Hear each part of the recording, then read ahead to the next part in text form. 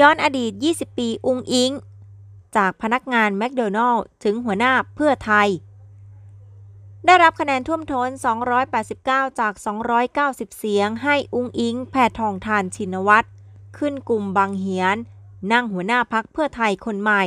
เป็นหัวหน้าพักคนที่ 8 พร้อมด้วยทีมคนรุ่นใหม่ 23 คน ที่เข้ามาช่วยในกรรมการบริหาร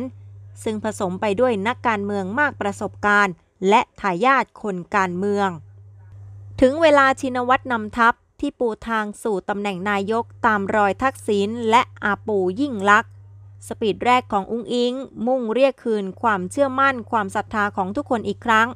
และว่าเป็นคนที่เติบโตมาในแวดวงการเมือง ได้เรียนรู้อะไรมากมาย ขอบคุณทักษิณชินวัตรที่ทำให้เห็นถึงความตั้งใจและอุดมการณ์ได้เรียนรู้ใกล้ชิด และเป็นแรงบันดาลใจของตนในการดำรงชีวิต สิ่งที่ดิฉันอยากจะบอกกับตัวเองและทุกๆคนว่า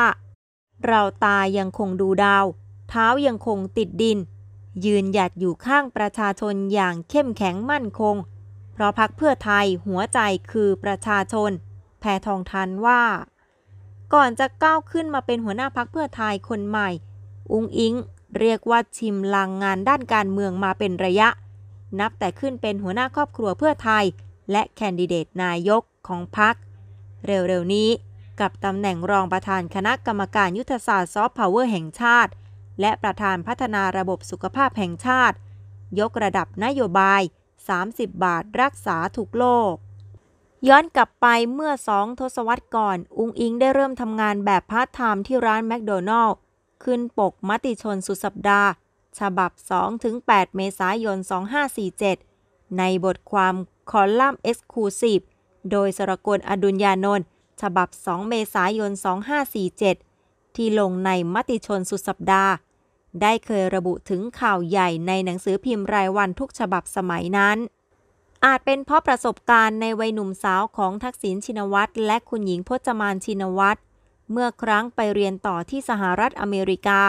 ทำให้ทั้งคู่ยอมไฟเขียวให้อุ๊งอิ๊งแพทองธารชินวัตรไปทำงานแบบพาร์ทไทม์ที่ร้านแมคโดนัลด์พร้อมว่าทักษิณเคยทำงานฟาสต์ฟู้ดสมัยเรียนป.โทและเอกในต่างประเทศ ทั้งบ๋อยโรงแรม ผู้ช่วยกุ๊ก พนักงานร้านเคนตักกี้ ขณะที่คุณหญิงอ้อพจมานทำงานเป็นพี่เลี้ยงเด็ก และเปลี่ยนมาทำงานเบอร์เกอร์คิงและขายของที่ห้างฟอร์เรล department store ที่กลายเป็นความภูมิใจของทักษิณ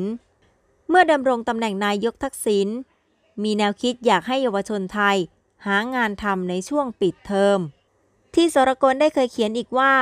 อุงอิงเป็นลูกสาวที่ทักษิณรักและกลัวที่สุด เป็นลูกสาวที่ทักษิณเคยบอกว่า มีความสนใจทางการเมืองมากที่สุด เมื่ออิงฟังประสบการณ์การทำงานตอนสมัยหนุ่มสาวของทักษิณ เธอก็เกิดแรงบันดาลใจอยากจะทำงานเช่นนั้นบ้าง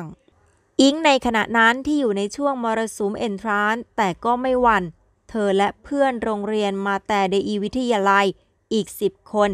กระจายทำงานร้านแมคโดนัลล์สองสาขา เพื่อเงินตอบแทนชั่วโมงละ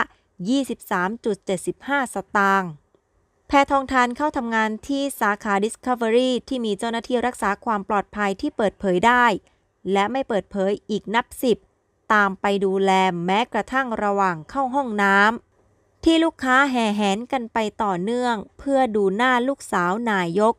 ทายาทมหาเศรษฐีอย่างอิง จะโวยด้วยเสียงหัวเราะกับเพื่อนรักในห้องน้ำในอารมณ์แบบวัยรุ่นว่าเหนื่อยมาก อยากร้องไห้วันละ 20 ครั้ง สรกลกล่าวในบทความ และว่าแต่สิ่งที่อิงเลือกทำทั้งที่อยากร้องไห้วันละ 20 ครั้งก็คืออดทนและทำงานต่อไป ไม่ใช่เพราะเงินตอบแทน 23 บาทจุด75 สตางค์ต่อชั่วโมง แต่เพื่อเป็นพรีเซนเตอร์ให้กับนโยบายรัฐบาล ที่มีคนนามสกุลเดียวกันเป็นนายกรัฐมนตรี นี่คือความน่ารักอย่างแท้จริงของเด็กสาววัย 17 ปี ที่ยอมเหน็ดเหนื่อยเพื่อพ่อของเธอ จากงานที่อาจจะเหนื่อยที่สุดฝ่าฟันมรสุมทั้งรัฐประหารเลือกตั้ง สู่ภารกิจใหม่ของแพทองธาร เรียกศรัทธาคืนสู่เพื่อไทย ภารกิจหนักที่อาจจะเหนื่อยกว่าพาร์ทไทม์ยิ่งนัก